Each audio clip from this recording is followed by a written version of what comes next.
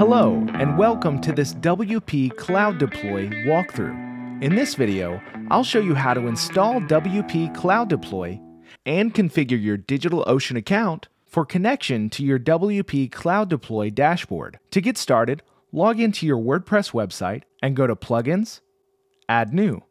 Click Upload Plugin, and click Choose File. Choose the WP Cloud Deploy zip file and click Open and click Install Now. And click Activate Plugin. If any dependencies are required, you'll see a notice at the top of the WordPress admin panel. Click Begin Installing Plugin to install the required dependencies. Click Install, and now we can return to our dashboard. Next, we need to set up an encryption key for WP Cloud Deploy. It's important to do this before connecting to DigitalOcean. To set up your encryption key, you'll need to FTP into your server and find the wp-config file. It's usually located in the public underscore HTML folder on your web server. You can right click to edit the file from your FTP client. Now we need to insert a line to define the encryption key.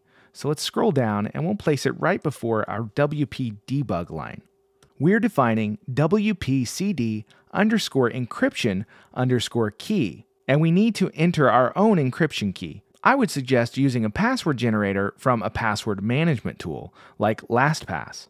Once you have your key, paste it in where it says your very long encryption key goes here, and then save. You can then close your code editor and return to your FTP client to upload the changes. Now, if we return to our WordPress website and refresh, you'll see that we no longer have a warning about the WP Cloud Deploy encryption key. Now we're ready to connect our WP Cloud Deploy dashboard to our DigitalOcean account. So let's jump over to DigitalOcean. From our dashboard, we need to navigate to Settings, Security, and then click Add SSH Key. There are multiple methods for generating an SSH key. DigitalOcean provides some instructions in the sidebar here. Once you have your key, paste it into the SSH key field. And give your key a name. And click Add SSH key. Next, we need to generate an API key. On the left hand side, click API. Click Generate New Token. Name your token and click Generate Token. Now we'll need to copy this token and head back to our WordPress website to enter the key.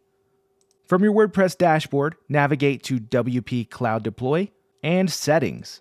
Now go to the Cloud Providers tab and enter the API key that you just generated on DigitalOcean. Add any optional notes and click Save. Next, we'll need to put in our private SSH key, which we also generated earlier alongside our public SSH key. Paste it in here, and then enter your private SSH key password. Now let's scroll down and save our settings.